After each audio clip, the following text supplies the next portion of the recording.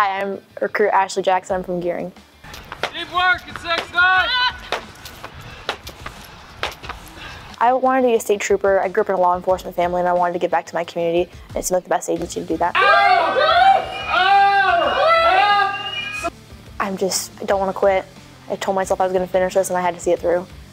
And I had a lot of good support system back um, from the troop areas and so it was really helpful and they kind of motivated me to come back. Come on, Jackson, you got There you go. Punch again.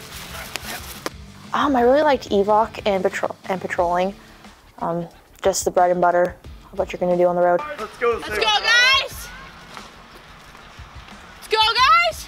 I feel like I've seen my confidence grow a lot more. Uh, I'm able to, like now, like just in public, I'm I start talking to people more, which normally I would just like go keep walking by.